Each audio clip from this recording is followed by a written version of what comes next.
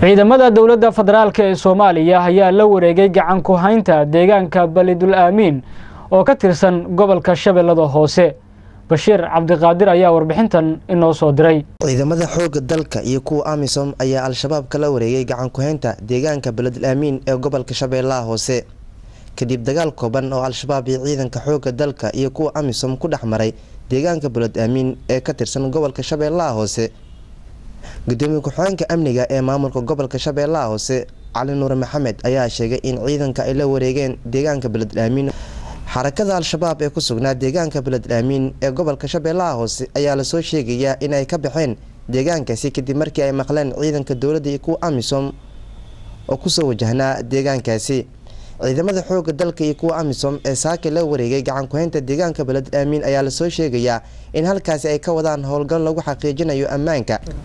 saraakiisha ciidanka xooga dalka iyo maamulka gobolka shabeellaha hoose oo aan xiriir la sameeyey ayaa sheegay inay sii wadi doonaan howlgalka ka dhanka xarakada al-shabaab. Ciidanka xoogga iyo kuwa amisom oo maanta la wareegay deegaanka beledul aamiin ayaa la soo sheegayaa inay halkaasi fariisimo ay ka sameysan doonaan. Maamulka gobolka shabeellaha hoose ayaa dhowaan sheegay in ciidanka xoogga dalka iyo kuwa amisom ay howlgal ka sameyn doonaan deegaano iyo degmooyin ay ku sugan yihiin ciidamo ka tirsan xarakada al-shabaab oo ka tirsan gobolkan shabeellaha hoose. Shir cabduqaadir raadiya s b c